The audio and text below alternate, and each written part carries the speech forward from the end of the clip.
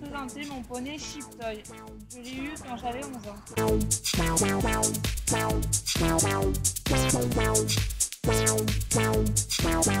Il faisait 1m30 et il avait peur de tout.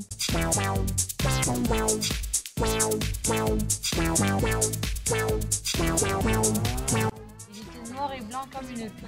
Je l'aimais beaucoup.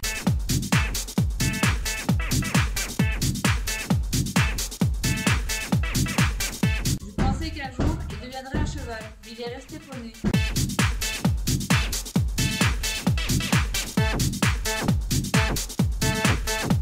Voilà, je vous ai présenté mon poney Chipstoy.